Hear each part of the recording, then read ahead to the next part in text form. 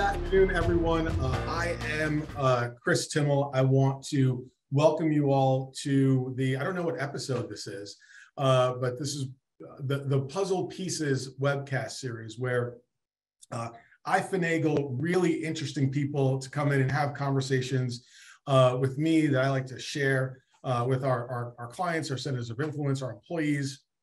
Um, just interesting people to talk to, find out things out, learn things about leadership, law, you you name it. Uh, you'll find it here on the uh, on the, the the puzzle pieces webcast. Um, I uh, I and speaking of friends uh, that I finagled to uh, to join me, I got my my good friend Todd Caponi here. We'll talk a little bit about Todd in a second. Um, but before we get started, uh, I just want to let you all know, like obviously we're, we're recording the webinar. Um, you can use the uh, the chat function or the, the Q&A function actually would be better. So if you just, if you've got a question for, for Todd or, or for me or for whomever, or just a general question, just go ahead and pop that into the uh, into the Q&A box and uh, and we will try and uh, try and get your your questions uh, your questions answered uh, here during the during the webcast. Um, so with that with that said i am really am delighted to be joined by best-selling author and award-winning award-winning sales leader todd caponi uh, todd and i uh, met a few years back. We were both doing some work for uh, for linkedin. Uh, uh, todd uh, we, we met we hit it off. Todd gave me some great advice that i did not take uh, and every time I see him on LinkedIn, I, I, remind him of the advice that I did not take. Uh, and uh, as we were putting these, um, as, put, as, we were putting together uh, the pieces webcast series, I thought, you know, who would be great would be uh, would be Todd. And Todd just has a, a, a Todd's uh, has a new book out, The Transparent Sales Leader, which is great. 10 out of 10 would recommend. and so I thought, what a great time to have Todd on and talk a little bit about uh, you know talk a little bit about a lot of things. So Todd, welcome. Oh man, it's good to see you. Uh, thanks for having me, and I can't wait to get nerdy with everybody. well, we had a couple of questions come in. And by the way, for the audience, you know, I, I think I put it in the LinkedIn post. We're not going to be there's there's not going to be a bunch of uh, a bunch of slides. As a matter of fact, there will be no slides. We will not have any slides at all. Um, so there are not going to be any slides. We're just gonna we're just gonna talk about stuff and riff on things, and hopefully um, you will uh, you'll get something uh, out of it. Um, when we put out the in when we put out the invitation to the webinars, we we said, hey, do you have any any questions? And as Todd and I were talking yesterday, we were kind of framed as we do last minute. Let's frame up the the conversation. Um, we just thought, hey, you know what? The, let's just these questions in this order are exactly what we want to talk about. right? So, so thank you to those of you who uh, who sent us who sent us the questions. Um, it, eh, you will recognize them because we're gonna we're gonna ask them and answer them here. So, um, so and the first question I thought was I thought about this all night actually, Todd. Right? Are great leaders born or built? So you're the guest. What do you think? Yeah, it's such a funny question. You know, you so often see like our salespeople born or made, and like all that. And I'm a I'm a nerd for uh, history of sales. Like when cool people are doing cool things on the weekends, you'll find me reading like an old 1905 sales magazine. I've got a whole collection of them, and they were arguing about that back then. I, you know, there's a couple of things. First, I think you got to know that leadership is in you like that was always my thing. I always joked that I was like a B, B minus sales rep. Like I was all right. Like I, I hit my quota, right? But I always knew in my heart that sales leadership was my thing. And for all of you that have moved into leadership, there's really two things to think about. Number one is, you know, when you're an individual contributor, it's the ultimate independent role. When you move into leadership, it's the ultimate dependent role, right? It's like 180 degrees from what you're used to. And so for me, and it's one of the things that I want to kind of lay out for everybody here is I moved into leadership like most exciting day of my life. And then 48 hours later, I'm like, wait, I used to have a process or a structure. Now I feel like I'm a dog chasing a car down the street every day as a leader. Like, I don't know if all of you feel that, but every morning I wake up and it's like, all right, what direction is the car going? Uh, there's a personnel issue. There's a deal issue. I got a forecast to do. I got a one-on-one. Like, oh crap! And I found that like I never knew. Like sometimes I kind of get close to catching up the car, then it would turn. Like, oh crap! And so when we talk about that idea of are we born or made, uh, the short answer is it's a combination of the two. You've got to have an inherent desire to want to lead and to want to drive people and make people's lives better and put them basically over yourself. But number two is without a structure or a process, you're going to be the dog chasing the car down the street. The, the book, and we'll talk a little bit more about this, but it's this idea that I actually created a structure for sales leadership, something I could use to plan and communicate, strategize. And when the crap starts flying, I always had that to fall back on. And, and that's how I believe that I became made, but all of you, just with a simple structure, you'll be 98% ahead of the rest of the leadership world. So the, the short answer is it's a combination of the two, uh, but you got to have it in you. Yeah. I remember, I remember my first sales management job, right? Do you remember your first sales management job? I, yeah, like, like it was yesterday. I was, uh, it was, uh, I took over a team in Queens, New York. I, I was 26, right? And like everyone was older than me. And, you know, I was like, you know, I'm, the, I'm a great salesperson. I'm going to come in and show you guys how to do it. And uh, yeah, that was, that had like my, my success or, you know, as a salesperson had nothing to do with what I was doing was what with what I had to do as a leader, like nothing at all. Oh, exactly. I mean, for me, like when I first got promoted, um, and, and we'll talk about the structure here because I want to give it to everybody. But because you could literally, like, once you internalize it, you could go to sleep and you'll be ahead of everybody else. Um, but yeah, that was my experience too. I got promoted. I had been a peer of everybody, and then suddenly I was leading them, and I was the youngest of everybody that I was leading. Like some of these individuals were 10, 20 years older and had a ton of experience and so like lesson number one for everybody here is I remember my CEO was like, hey Todd, like you got to get to it. Like you're you're too friendly. You gotta, you gotta like get after people, right? And I I knew that was not part of who I was. And literally, I think my CEO was mad at me at the time, but saw the magic in it. I had communicated to everybody. I was like, listen, I'm no better than any of you. We are equals. We are peers we just have different responsibilities, right? Your responsibility. So as a sales leader, your responsibility is to, you know, to go generate revenue for the business that's sustainable and create advocates for us in our organization. My responsibility is to make that as easy as possible for you to clear the runway of all the crap that stands in front of you and be the reporter and the person that forecasts the business and clears the space and makes sure that you have the resources to do what you do best every day. So always remember that we are peers, but we just have a different set of responsibilities. And once we all understood that, and it wasn't like, oh, big old Todd here, look at the boss. Like once we threw that in the garbage, I had a team of people that were running behind me. And it was just like a simple message, but it's also a mindset, right? Yeah. That sales leadership is not about driving re- revenue. It, the revenue is the outcome if you're doing it right.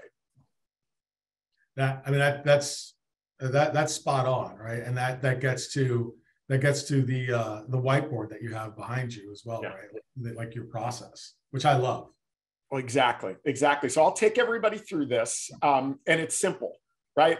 Like I said, I was a dog chasing a car down the street, and I'm way too much of a nerd for that. Like I just I couldn't handle it, and so I got in front of a whiteboard and said, "All right, as a leader, and this is a revenue leader, so sales, it applies for." Uh, excuse me, um, marketing leaders, client success leaders, like whatever leadership you're in, you can, like your CEO, you're running an early stage tech company or early stage company of any sort. Your responsibilities to maximize revenue capacity all fall into one of five categories. All right. And so those five here, I'll lay them out for you. Your first responsibility, initially, but always ongoing, is to focus, right? And by focus, I mean your team, those people that report to you and work for you and work in your organization, their most valuable asset that they have to turn into revenue is their time, right? And once they lose it, they never get back. Your responsibility as a revenue leader is to make sure that they're focusing their time on the right things, the right opportunities, like the right firmographics, the right demographics, the right companies, uh, sizes, geos, the right individuals, the right levels, all of that. Your first initial and ongoing responsibility is to focus. Number two, then, initially and ongoing, is to build the field, the team that uh, focuses on that focus, right? It, it's got to be in that order too, initially, but you build your team. So the right people in the right places with the right tools and the right resources. You, as a leader, have a responsibility to that. Establish and maintain the focus, and then build a field to attain that focus, right? The right people, right tools, right resources. So that's number two. Number three, your initial and ongoing responsibility is to the fundamentals. You need to make sure that that team is doing the right things right consistently, right? Like if it's sales, it's messaging, it's positioning, it's prospecting, discovery, qualification, proposing, negotiating. You've got a responsibility as a leader to make sure the team does those things right. Your fourth responsibility is to the forecast, right? Who knew? You've got a mm-hmm. responsibility to predict the future. And that's not only the deals and the future revenue, but it's also the metrics and the KPIs, knowing what to measure so you see the holes before they form.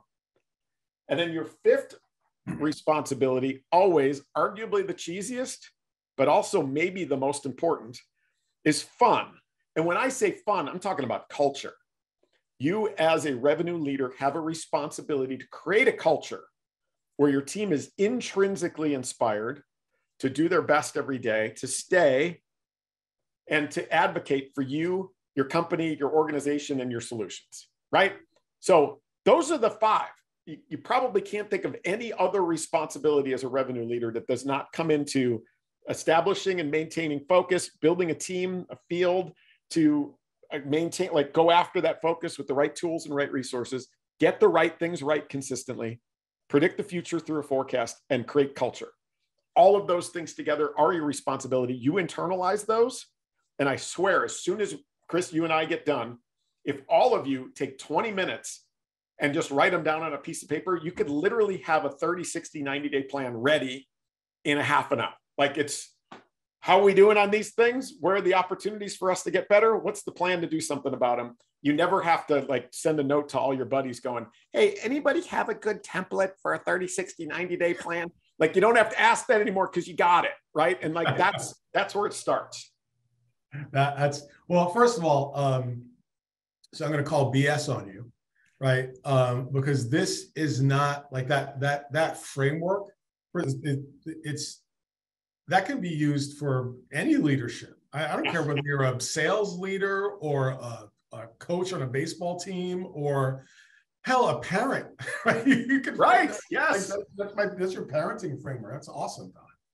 Yeah, and it's so easy. And so, uh, you know, I used it for all my planning and strategizing but I ended up using it for all my communications, right? So whether it was an all hands meeting, right? I would take everybody through like, here's here's where our focus is. Here's updates of the team. Here's the things we're trying to get better at.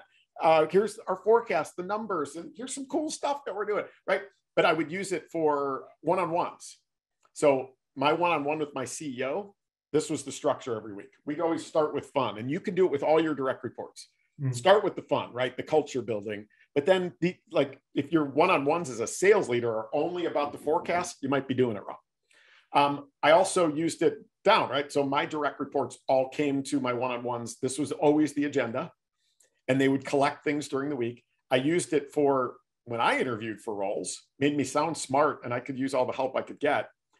Um, board meetings. I would walk into a board meeting, and like my CEO would be like, "All right, Todd, you know, time for the sales update," and uh, like the, you know, I would say uh, to the group, all right, like everybody ready? And they're like, oh, let me guess, it's the F and 5S again. Like, of course it is. But that meant that like my board used it themselves and they always knew that I had all the holes covered. I used it for due diligence, like looking to acquire companies. There was one company that when I was on the uh, sales leadership team at Exact Target, we had acquired two companies at once, uh, Pardot and Igo Digital, They asked me to do the due diligence on Igo after we bought them because it was kind of a small kind of throw in acquisition. Like, Todd, what do we got? Pull out the five 5S. You've got it. I'm telling you, you'll stand out ahead of everybody else. It you makes you sound really smart, but you will be smarter because you'll always have a plan. That, that, that is that's fantastic. Focused, uh, focus, field fundamentals, forecast, and fun. Even I can remember that. uh, but um, but what's what's really interesting though is is the the last F fun really does in a lot of ways segment to question number two. Yeah. And by the way, for the audience, um, again, if you if you've got questions or comments, just go ahead and pop them into the into the Q and A, and we'll uh, we'll be able to to get to those um, for you. But it really gets to, to question number two, and that is, uh, what is the biggest challenge in managing a remote workforce and maintaining employee engagement? Right. Yeah, yeah, and it's funny. Um, there's a couple of things there. So like in the book, the first section walks through the structure and gives you real tactical ways that you can go optimize each one. Section two is all about the science of intrinsic inspiration, which is what I call it. But it's this idea that, like, if you believe your sales reps are coin operated, you're right if you're doing it wrong. Yeah, I, that, I, I, will tell you what, that is the, I hate that phrase so much. Yeah. sales reps. I remember, I remember the first time I heard it, uh, we had gotten a new vice president at uh, at another place that I worked, uh, new senior vice president, and and uh, we were sitting in a hotel uh, so we were just meeting, and, and he said that you know sales reps are you know coin operated machines, and like any sort of uh, you know any sort of credence or anything that that I you know any sort of res- I don't say respect, but you know anything any that, that eroded any sort of positivity that I could have possibly had in my relationship with that individual. So well, yeah, it, your responsibility under this fun bucket is you want to create an environment where variable compensation is the reward for doing work you love to do instead of the reason you do it. Like that's just look across at organizations, right? That are really, really successful.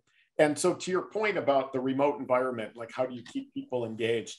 You know, it's funny to look at since March of 2020. I mean, it was literally a case study in intrinsic inspiration. And here's what I mean we went from an environment where all the reps are in an office all the time or your team's in an office all the time all of a sudden everybody had to go home right and so everybody's remote now you had this kind of yin and yang of leaders needing control and predictability with reps wanting their independence right and so how do you manage those two things well it was funny to watch the first couple of months where a lot of leaders were like hey we're going to do twice daily check-ins um, like we're going to start the day with the motivation and see what you're going to accomplish. And at the end of the day, uh, we're going to see how you did. Right. And that was just a petri dish for lies. Um, like, you know, your rep in the morning would go, all right, what can I say I'm going to accomplish today? So I don't sound like a brown nose, but I sound like I'm working hard. At the end of the day, it's like, all right, what BS can I come up with to cover my butt for the fact that I didn't do anything today? I like that was funny. But then we decided to over uh, index on this idea of what is security, pack building, uh, family, relatedness. All of a sudden, leaders were starting to recognize that, hey, listen, these reps are not feeling like they're a part of the team anymore because they're sitting at their homes all by themselves. Let's over index on that. Let's do Zoom happy hours every night or every Thursday night. You know, we'll do a costume contest. Like, oh, God. But we, we had to do it. Like it was a good thing because we had to try, try to bring things, people together. Here was the thing though. We, we failed uh, to move on to anything else. And that, like shameless backpadding here, I don't do much of it, but I predicted the great resignation before it happened. And here's why. There was came a time where the physical cost of changing jobs became non-existent, right? Meaning physically, if I wanted to change jobs, I don't have to change my commute. You send me a new laptop and maybe a pair of logoed socks, and here we go, right? That's the physical cost. The emotional cost disappeared too, because for the most part, you hadn't even met your coworkers before, right? Video could never replace the connection that you have with actually being in the trenches with the individuals, going to actual happy hours and lunches, and coffee, and seeing each other, you know, around the city. As a result, no physical cost to change, no emotional cost. So your triggers to leave were almost nothing. Like, uh, hey, we're raising your quota. All right, see ya. Unplug, plug in somewhere else. Territory got smaller. All right, see ya. Um, I just lost a deal and I don't like my pipeline. I'm getting out of here when the going's good. I, I, just went and I was talking to a buddy of mine who's making a ton of money with the company and they love it there and they're hiring. See ya. I believe that the reason the great resignation happened is because we had a bunch of leaders out there too who had that old mindset, Chris, like you talked about, which is when a rep wakes up in the morning, if they believe their purpose in life is to hit their quota, hit their targets, right? Close deals, they can do that anywhere. That the missed opportunity, and I wish I, I want all of you to think about this, is the companies that succeeded and kept the great resignation at bay were the ones that were really good at making sure that their reps knew what their aim was, their mission, the purpose of their work, the impact that they're making, not only on your company, but on your customers and on their customers, right? Because that is unique to your company and it can't just be replaced somewhere else. And I'll give you a quick example. We can talk about it. Like my last role, I was the chief revenue officer of a company called Power Reviews. We were in the review space. We helped retailers and brands collect and display ratings and reviews on their website. Who gives a crap? Well, you know who gives a crap? The consumer at the end who's using those reviews to make really smart purchase decisions with their hard earned money, which during the pandemic or anything else was hard to come by, right? We were helping make families' lives better and make help them make better purchase decisions by helping retailers and brands collect and display authentic, true reviews that they could use to make decisions for themselves. Once my team really felt that, their job wasn't about hitting their target. Their job was about helping families, right? And we created nerds, like review nerds. I had a couple of reps that are like, you know, like I joked about at the beginning about me reading sales history. We had a couple of reps that are like on the weekends are reading up on like consumer behavior and reviews, right? Because they cared about what we did. I think all of you, everybody listening's got an opportunity. Do you think your team members know what their work means to your customers? And even more important, do you think your team knows what their work means to your customers' customers? And once that triggers and it's unique and they care, that's how you drive engagement in a remote environment or really any environment where your team stays, does their best, and advocates. And, and that that's that's great, you know, because and you think about it, right? The role of a leader, the way I see it, is to create and maintain a motivating environment where people want to do the work necessary to reach their individual potential. And in doing that, right, it helps the company reach its potential and the company's customers and their customers, right? So I mean, you you really um, you really hit the kind of hit the nail on the head. It's funny though, you know, I'm not gonna lie. Um, you know, um, well, I'll tell you a story. So then, then I'm not gonna lie. Um, so, so when we started when we started Puzzle back in 2019, we and I am here in our physical office. Um, but uh, here in Tampa. When we started the company in 2019, we started the company and it, it was, we had designed everything to be remote. Like we don't need this office at all. Uh, it's a, it's a pretty sizable space. I think there's two other people in here today. Um, but we designed the, we designed the entire business model to be, uh, you know, hybrid distributed, right? We have, we have employees, we had all employees all around the country when we started, um, you know, and we have employees really all around the country and around the world now. Um, you know, just just just three years later. So, um, you know, we had obviously so we had to stack up the technology to make sure that that was that that was there, um, that we could actually do that. Um, but the engagement piece, and and this is you know 2019, and we had to you know we had to drag oh, we, we we had to all claw through you know, starting a business and, and clawing through COVID together.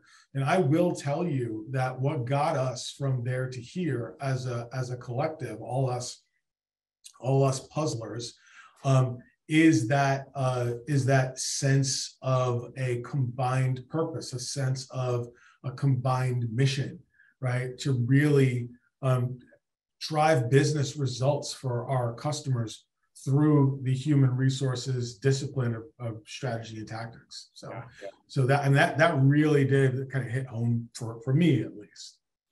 Yeah, dude, that's a great like example of that, right? And the companies that have been most successful through all of this are the ones that created that purpose and that mission. Now, I will. There's there's one other thing that I just thought about that I, am thinking about the question that was asked, and I wonder if uh, any of the attendees here are, are thinking about this right now. Um, I've been looking at a lot of the behavioral science around. All right, there's companies that are saying, "Hey, everybody, come back," right? And there's some that are like, "No, the future is remote," and like there's this balance of that. My advice for everybody is, don't just let it happen, right? Like, be intentional because there's 2 mm-hmm. things that I've seen happening um, that I just I want to make sure that you're all aware of and thinking about. Number one is this idea of distance bias. I see these individual companies that are saying, "Hey, if you want to come back, come back, and if you don't, cool, right? Like we're going to support you either way," which is great, right? Super flexible. However, I then see a few months later that when promotion opportunities come up, leaders are leaning towards the person that they know the person that's in the office, the person that they feel confident is going to be the best leader for them because they're just connected to them emotionally and physically because they're in the office with them. And that we're creating career path issues for the people that stay remote.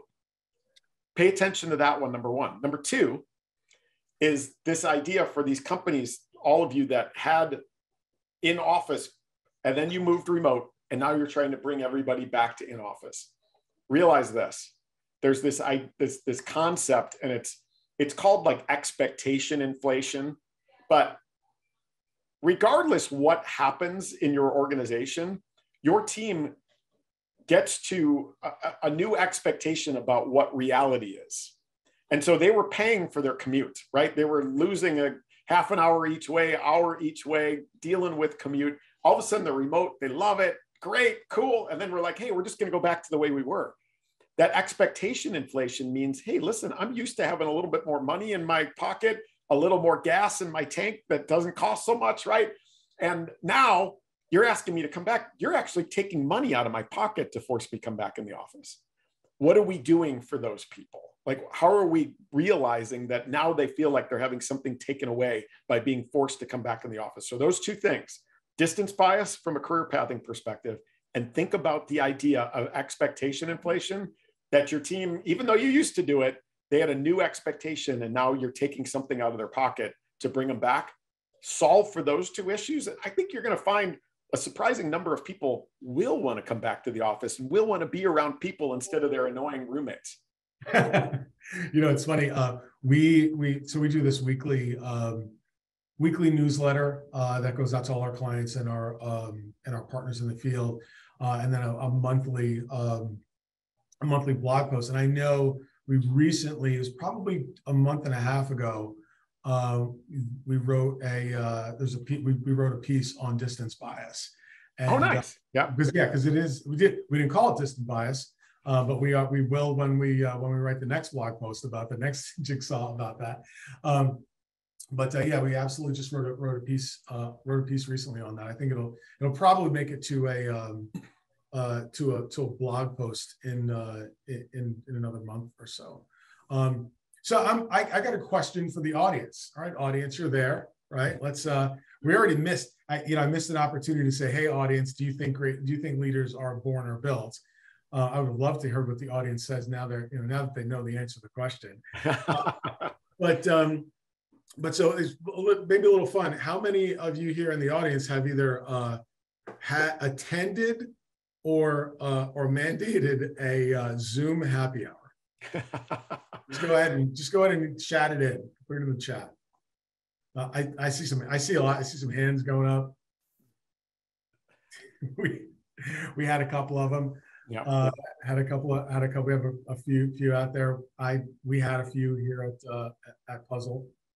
And it was uh, necessary, you know. I mean, it was something that we had to do. It was a good thing for a while I just was looking, you know, before the great resignation going, you know, we're like 15 months into this thing and we're still doing Zoom happy hours and we haven't plugged that hole of the other pieces. Like people are still leaving, even though we're doing these. And we sent them a Yeti cooler. Like, why are they leaving? Like, it's, it was just a miss because we weren't really thinking through all of the elements that contribute to intrinsic inspiration. Yeah, no, it's it's gosh, it's it you know managing a, a remote a remote workforce is just I mean it's it's it, it's really difficult. I I, I find that I, I I would make a statement. I'm curious your opinion. Right, I, I'm finding that there is some we'll call it generational angst, right? Right, that uh, that that generation of of managers and leaders who are used to um, you know, being in the office and lording over folks and, you know, seeing people come in and if they leave at 501, you know, they, you know they, and have those thoughts and concepts and feel the, the ones that will, will, will fall prey to um, proximity bias, right? Um, you know, I feel like it, it's kind of that, um, that group that's having the, the struggling the most with um, managing folks remotely or the transition to the new hybridized uh, hybridized environment. You see the same thing or? Yeah, and it's funny. I'm also seeing the flip side of that. You know, um, what's amazing to me is, you know, if you look at uh, 2017 to 2020, we had very steady economic growth. Right? It was it was solid. It was you know fine. We had a short term shutdown in March, April, May of like the whole economy in March of 2020 and then we came out of it with the biggest spike that we've ever seen in terms of uh, you know like new unicorns for example. Like that four year period before 2020 21 we, we saw 567 newly minted unicorns which are companies that based on their investment are now worth a billion. In 2021 alone we had 587 so more than the previous four years combined. What that means is that we promoted a lot of people in the leadership during that period a lot of people that had no experience that this is their first leadership job. And when I say the flip side, I'm saying that right now, as we're trying to bring people in, you probably have a, like, you know, if you see across the landscape, there's a lot of leaders out there that have never led a team in the office. Never. They've only known remote. They don't even know how to treat people and how they're going to act in an office, right? Like, what are they going to do when they leave at 501? Like, is that cool? Like, they have no idea and so that's why a lot of this this like there's this training gap for uh, for revenue leadership where these individuals don't know and don't know like how to balance out the things that inspire us. And so yeah you've got both sides right? But you've never managed remote. How do you do it? Well a lot of us were forced to get that experience. What's going to be more interesting is never managed people in an office. How am i going to do that? Right? And that's coming well, I'll, I'll tell you what, too. You know, to that point, we have a we have kind of a question. I'll, I'll hit you with. Yeah, I, we have a like I I've interviewed uh, I interviewed uh, someone recently uh, for an analyst role, and uh, to, to work on our uh, and to work on the enablement side of the house. And uh, and one of my questions was, do you have any questions for me? And, and he said, I do have one. What's it like working in an office? I go, what do you mean? He's like, you know, like in an office with people. Right? and I was flabbergasted, and uh, until he explained, I've never worked in an office. I've, I've none, and nor have any of my friends. All of my jobs have always been remote, and I was, was like blown away by that. Yeah, yeah, exactly. Yeah. And like, I mean, it, it's a leadership gap, right? That like a lot. I mean, the, the, there's the bulk of leaders have never been trained in uh, revenue leadership or sales leadership. And there's a big chunk that have never actually managed people in an office before. And so like now is the time to kind of figure that stuff out too. That's that's a whole. Yeah, no, absolutely. So so we have a question from from Noah uh, who says who asks if you can speak about the generational workforce opinions to your leadership model. Well, yeah, I mean, I think the, the thing about the five F's is it doesn't matter if you've been leading for 25 years or if it's your first leadership job. And uh, I've actually coached a couple of uh, reps that are looking to move into leadership and just like, you know, internalize the five F's. And when you get that question, you're ready, right? Like when you get the question, like, how do you think about leadership and your role and your responsibility? Well, hey, I've got a structure. Here's the way that I think about it. You're going to sound really, really smart there. Now, the, the generational elements of all of this, I've been researching a lot recently around um, the, the, the people that say that the future of business is all going to be remote, right? Because, like, I don't quite buy that, but it's funny. I, being the sales history nerd that I am, that 100 years ago, there was an article in Sales Management magazine in 1921 that talked about this idea that your salespeople are the loneliest people on the planet because they're all remote and they're never seeing anybody. And all they do is they're on the road and they're in different hotels and they're taking trains from town to town. And how horrible is that, right? When we went from there to everybody is remote um, in, in the office or like at their homes and everything. And like, how do we bring people back and do we? And what I found is interesting is I made that joke about trying to get away from your annoying roommates. I'm finding that a lot of the younger generation, you know, not married, no kids yet, they want to go back to the office, right? Like they want to get back in there and be around people every day. They're spending the majority of their their working lives, right?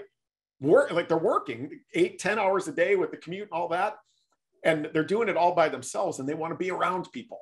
So I think that's going to be really interesting to see the different generations and how badly they're going to want to come back versus being remote. Are we going to see the, the family people want to stay remote and the, the, the, younger generation and those people that are more independent want to come back to the office? I think that'll be really interesting to see. And then leaders are going to have to adjust accordingly. Yeah. Yeah. I think we just need to Myers Briggs everybody and, uh, Yeah. And that'll that that'll you if you if you have a business, just Myers Briggs everybody, and that'll tell you how much uh, square footage you need. Yeah, exactly, exactly. And, and Malia put a comment in here saying, I believe it's more about managing total output and not the people. And yeah, like it's like you read the book. Um, that like revenue leadership, the the output is, you know, it it's the result of creating a culture where your team is inspired to do their best work every day and that you're managing each one of these pieces. So you make sure that their time is spent appropriately, uh, that they've got the right tools and resources, and that they're learning and they're getting better at what they do. Right? Like you manage those things together, and the output is going to be a natural extension of creating a culture where the team wants to perform and giving them the tools to do their best work. So I, I'm with you there. That's great. Yeah, that's awesome. Any any other questions from the uh, from the audience? And thanks for that one, Melly and Noah. Just go ahead and, and pop them in the pop them in the Q and A. We'll kind of we'll kind of uh, hop on them here. 38 after hour. The last the the last question that we got kind of pre um, uh, you know pre webcast was to talk through some evaluation best practices.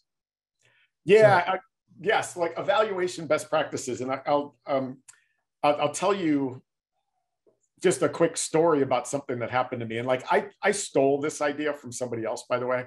But I like after I heard it, I was like, oh my gosh, I remember when this happened. Um, like I'm just a believer, and I know you are too, Chris, that evaluation is not an event, right? Like evaluation and feedback, like feedback is part of this idea of creating a culture and of intrinsic inspiration.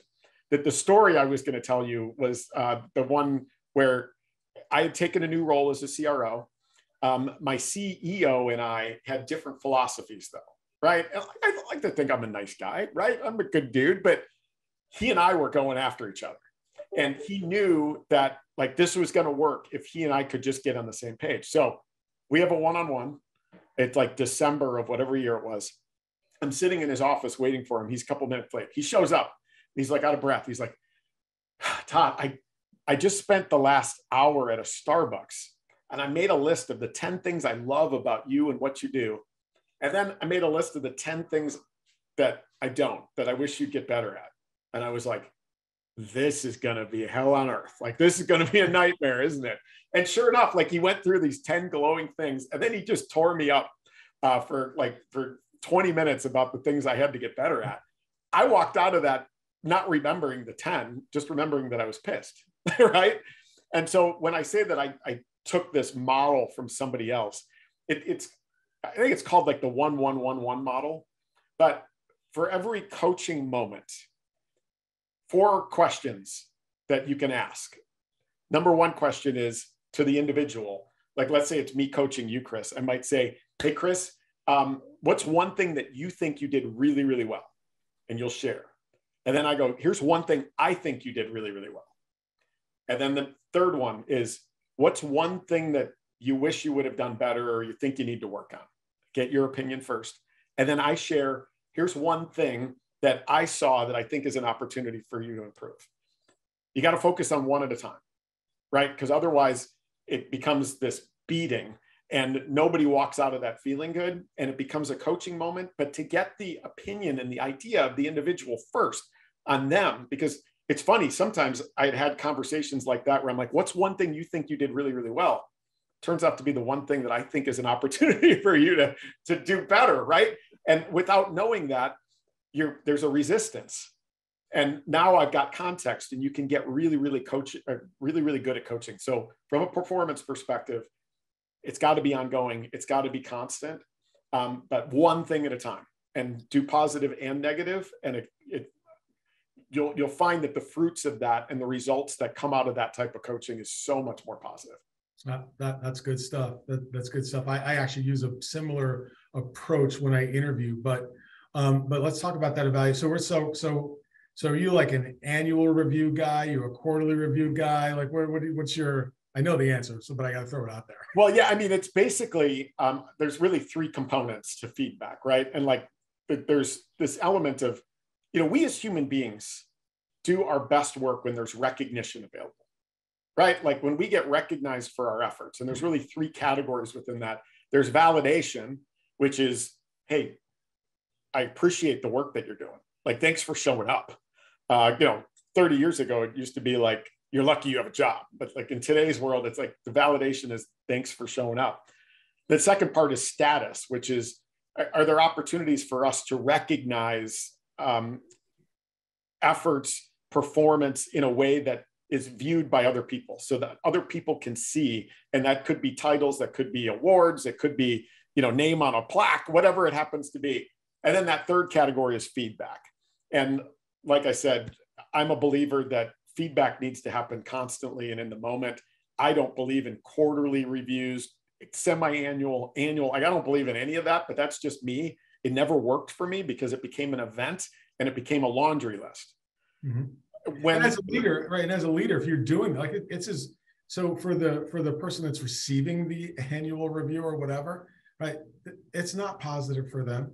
And as yeah. the leader, it's not positive for you because you got to you have to pretend to have remembered a whole year's worth of stuff for right. that, one meeting yeah. and you know you you're just you're you're hitting them on the, the the what what they either did or didn't do in these last you know three weeks or four weeks leading up to the meeting yeah that was never valuable for me i'll tell you one funny story um my, my first tech job out of college was with a company called ca computer associates oh yes like ca was affectionately required uh, known as creative accounting, if you know the story there too. But um, that's a side joke. Um, but they used to do this thing like it used to be a beating. Um, like that environment was terrible. I don't. I, am hoping it's a lot better now. That was like 20 plus years ago. But they would do annual uh, reviews, and let's say there was there. I think at one point there was 33 people on my team. They would give you your review, and apparently the leaders were not allowed to put anything positive in it so that you couldn't take it and go use it to get another job. And the second thing is they would rank you from one to 33. But if you were in the top third, you just get an X so that you couldn't actually take that and use it to get another job either. It was crazy. I mean, like that's some old school crap, but like, you know, blessed that I used to finish with an X. I was X of 33. And then it was like, um, I, I, don't even remember what the feedback was because it was dumb. But um, like that's not the way to drive intrinsic inspiration where your team stays, does their best, and wants to talk about a great yard to everybody. Yeah, just you're you're reminding me of of a of an annual review that I got one time uh, where I was uh, you know was a sales leader and uh, and I was like number one in the country, right? And there and I came back and I got a shitty review. I'm like, what what what is this? And uh, the, the, the person who gave me that review is absolutely going to uh, listen to this webinar. Uh, but like even even to this day, I like I, I bust his chops about it. Like I'll wrap his Christmas gifts in that review from 1997 or something like that. It was like because I was I was had one metric that I was this immaterial metric that I was not uh, that that I that I wasn't great in because it didn't matter. And the, my whole review was around around that. You know. Yeah. I mean? Yeah. So I mean, for everybody, just be careful with that. I mean, again, if if anything is a surprise to an individual, you're probably doing it wrong. Um, and that's why like coach in the moment every opportunity you get, but just keep it simple, one thing at a time. Yeah, yeah. We got we got a note here from Taylor uh, who says, "Have you identified, or, or, or I have an opinion on this one. What have you identified, or what do you think is the key difference between a leader and a manager?" That's like a really big question. Yeah. Right, because first you got to define leader and manager. But you're the guest. Go ahead. well, I love your opinion on that too. I mean, my opinion is a leader is somebody that you want to run behind. Um, a leader is somebody who's uh, helping make your job better, and you want to see them succeed too, right? Like that's that's what leadership is. Like a manager is somebody who just manages activity and manages structure, and you know it, that to me is. I'm trying to think if I've had managers before, and I know I have. Um, managers create environments where um, they're just like they're focused on your behavior and your structure and your process and i mm-hmm. think we lose sight of our customers i'm a huge advocate of this idea i'll go on a quick rant here for a second when you look to sales histories past the early 1900s you know um, sales was trusted it was respected it was even an admired profession it was taught in almost every university of substance in 1910. Like I know that's crazy when people are like, why isn't sales taught college? It used to be taught in all of them, like Wharton, Harvard, Yale, like all those. Michigan, University of Michigan, Ohio State, they all had it. It was actually taught in high schools. There was 11 Boston public high schools that were teaching sales back in the early 1910s uh, under the, the, the leadership of a woman named Lucinda W. Prince, who was like she's awesome. Like the, the pioneer for women in the sales profession. If you ever want to nerd out on that, let me know. But we lost our face. We lost our buyer centricity back then. Why? Because back then, sales processes and sales forecasts were all about recognizing buyer behavior. They used an acronym that you might cry yourself to sleep thinking about from the movie Glengarry Glen Ross. when Blake from Mitch and Murray, Alec Baldwin goes through AIDA, AIDA, do I have your attention? Like, is the person paying attention? Are they interested? Have we generated a desire in them and are they ready to take action? That became the basis for every sales process and every sales forecasting methodology from 1900. It was actually theorized in 1898 by Elias St. Elmo Lewis, all the way through the 1940s. And then all of a sudden, we're like, nope, we're going to make it seller centric. We're going to start creating seller centric processes. You know, prospect, discovery, qualification, uh, demo, propose, close, all seller centric activities that were clearly devised by managers, not leaders. And as a result, all the endorphin rushes that our sales reps would get would be based on what they were doing instead of recognizing what the buyer was doing. We lost our face. We introduced technologies that made it really easy for us to lose our human connection to individuals. The entire sales profession eroded as a result all the colleges threw out all of their uh, curriculum because nobody wanted to be in sales anymore. People didn't even want to interview for those jobs. And it became this world where we lost our buyer centricity and became seller centric. And I believe that was from like big company managers like IBM that are like process, process, process. Here are the steps, go, and I'm going to manage that for you instead of creating leaders that are focused on buyer outcomes. So, rant completed but I think there's a huge opportunity there. And I think it speaks to the difference between leadership and management. Yeah, no, that is uh first you blow me, you blow me. I've AIDA. I'm like, wait a minute, where's that from? And then I'm like, I, Alec Baldwin. Yeah, you got that one thing right. Yes. right. Um, Nobody was, talks AIDA to, uh, to like today at all. You, you get your your Salesforce instance out of the box. The forecast stages are seller centric HubSpot seller centric, all of them seller centric. I think there's an opportunity for leaders to layer on top of those. Like you don't have to throw out your stages, but and you don't have to go back to AIDA, AIDA uh, either. But you can go back to this idea that we all as human beings go through three steps at least. We decide why change. So is our status quo worth changing and pursuing an alternative? The second uh, question is then why you?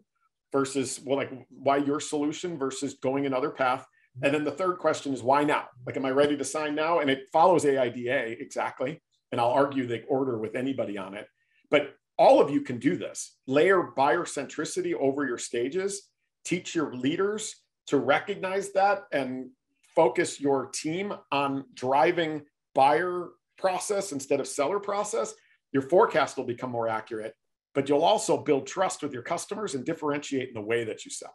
Yeah, I'll tell you what. You know, I think that the three whys are, are critical, and and you know when you think about when, when you think about selling, you know the the biggest mistake I see salespeople make is is they try to sell right to people who are not um, interested, right? I think to have a true people aren't prospects, right? To be a true pro, a true prospect is someone who's got the ability to buy and the willingness to listen. In other words, they want to hear. They have some level of you have their attention and they are interested. They're not interested. Don't bother putting them in Salesforce. Right. What's the way? You're never like you're never going to you know the, the disc. You can do a great discovery, but it's not going to matter if they're not and if, if people aren't aren't interested. And you're right you know, I mean, the, the question was the difference between a leader and a manager. Leaders lead people, right? They, they lead people. There are, you know, if you think about, uh, you know, a pastor in in your church, or you think about, you know, your your parents or your scout troop leader or whatever, right? Or your or your team leader, your your uh, your your leader on your sports team, like they lead people um, toward a common destination. Managers just manage processes. Right? Leaders are in the front and managers are in the back. Right. That's so, a way to put it. Yeah. Yeah. So, so I want to I want to get back to, to the first question: Are, are great are are great leaders born or are they built? Right. And then we're we're kind of coming up late, and so we'll kind of close up in a little bit. But like you know, so we're all born, right? Right. So that's we, we everyone on the call here. We, we, we've all been born. All right. So check check. Yeah. Right. And and there's so so it, it, really is kind of built. How do you you can't be built just tell me if you agree with this. I i don't think a leader can be built if um if that if that person that individual doesn't really want to do the work necessary to to to do that thing to be a leader even though they kind of everyone has it in them. Oh yeah that 100% that, that's there's a number of people that I know that have been in individual contributor roles for 30 years and they love it and they wake up intrinsically inspired every single day and they've never had regrets for not moving into leadership. That's number one. Number two is a number of people that I've seen in my career have moved into leadership because either A, that's what somebody told them they're supposed to do, like that's the career path, or B, they do it for the wrong reasons. So their buddies would look at them and go, oh, look at Todd, he's a leader, right? And they, they don't do it for the re- right reasons, which, you know, for me, and I know it sounds cheesy and like, you're right, Todd, but like I always was inspired by being able to teach something to somebody and watch them succeed as a result. Like there's nothing that gives me a bigger endorphin rush than watching somebody's performance change or their career change as the result of something I helped them achieve, right? Like that's so much cooler than, to me than going and closing a big deal. And so you've got to have that inherent in you that that's a desire that each one of us individually has. And when you do that, then you're probably cut out for leadership. And then hopefully the structure and processes and best practices are kind of optimized by science on a layer of transparency here will help you become the leader that you can be. Yeah, you know what? Well, well said. Well said. Um, you know what? I, I we're we're 54 minutes in. Um, I you know Todd I had an absolute great time chatting with you today. Um, you know for for the attendees, if you want to get in touch with Todd, uh, just to geek out about 1876 uh, processes, or, or, or or to engage him, uh, you know, for to to work in your organization, um, go to toddcaponi.com, T O D D C A P O N I.com, toddcaponi.com. Um, thank you, Todd, so much for joining us here on the uh, the pieces webcast. I don't know if this is the third or fourth uh, episode. I have no idea, uh, but um, but I want to thank I want to thank you for for spending the time with us today. I want to thank uh, all the folks in the audience for their questions and their participation, and uh, absolutely uh, look forward to uh, look forward to doing this again. Awesome. Thanks for having me. That was a blast. And um, you can also follow along or connect with me on LinkedIn. Uh, if you do, let me know where you heard me. But uh, this has been a blast, Chris, and I could talk to you all day, brother. I appreciate you, Todd. Thank you so much. Everyone, thanks so much. And uh, we'll see you again next time. Take good care.